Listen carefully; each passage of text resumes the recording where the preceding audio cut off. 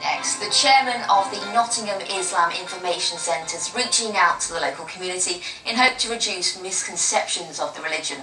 The charity in Radford's now running drop-in sessions every weekday for those who want to learn more about the faith.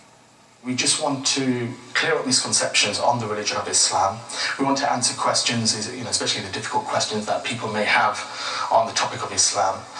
Uh, so we, we just want to provide that uh, platform here in Nottingham uh, to, to any questioners who wants to ask questions on Islam. And obviously looking around the world, what's happening around the world, they want to ask uh, political questions on um, the role of Muslims around the world and um, you know what's their stance on certain uh, activities or atrocities that happen around the world that kind of thing. So obviously we answer them.